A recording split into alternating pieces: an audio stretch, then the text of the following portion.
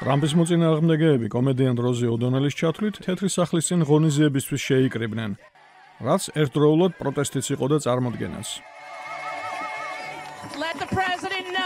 პრეზიდენტმა ძალიან გარკვევით უნდა გაიგოს, რომ ჩვენ ცოცხალი ვართ, გავიღვიძეთ და გვიძავს. არსად წასვლას არ ვაპირებთ.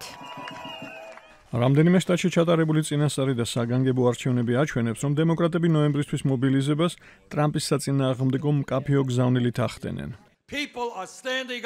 ადამიანები ხმას იმაღლებენ, ისინი იბრძვიან და აპირებენ ერთად გარდაქმნან ეს ქვეყანა პოლიტიკურად და ეკონომიკურად.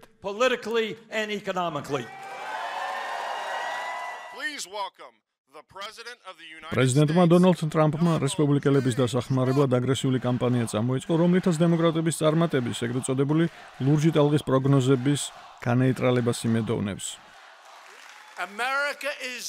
ამერიკას კლავ პატივს ცემენ და ამერიკა იმარჯვებს, იმიტომ რომ ჩვენ ბოლოს და ბოლოს ამერიკას პირველ ადგილზე ვაყენებთ.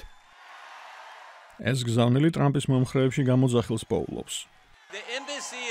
შეერთებული შტატების საელჩო იერუსალიმში გადავიტანეთ და ჩრდილოეთ კორეიდან ძევლები დავაბრუნეთ. ეს პრეზიდენტის ლიდერობის შედეგად მოხდა. მაგრამ შუალედურ არჩევნებში ტრამპი და რესპუბლიკელები სიძნელეების წინაშე დგანან, ამბობს ანალიტიკოსი ჯონ ფორტიერი. So I think they'll they'll get some of their voters out, but I ფიქრობ ისინი საკუთარი ამომრჩევლის გარკვეულ რაოდენობას გამოიყენებენ, მაგრამ ფიქრობ დემოკრატების ენთუზიაზმის გადაფარვა ძნელი იქნება. არის იმის ძალიან დიდი შანსი, რომ დემოკრატებმა წარმომადგენელთა პალატაში უმრავლესობა მოიპოვონ.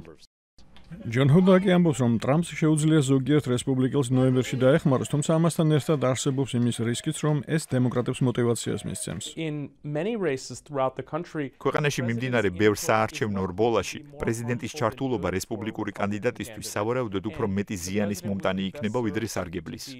გამოკითხები აჩვენებს, რომ იმ დროს, როდესაც მშრომელი კლასი მეტწილად ტრამპის გვერდით რჩება, ბევრი ქალი და საშუალო კლასის წარმომადგენელი ამომრჩეველი სავარაუდოდ რესპუბლიკელებს ზურგს შეაქცევს, ამბობს ანალიტიკოსი მაიკლ ბერონი.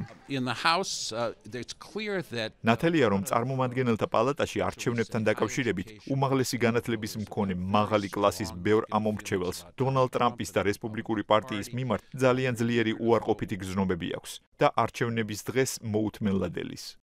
ახლა სულ უფრო ნათელი ხდება, რომ ორივე პარტიის აქტივისტები შუალედურ არჩევნებს ტრამპის პრეზიდენტობაზე ეროვნულ რეფერენდუმად განიხილავენ.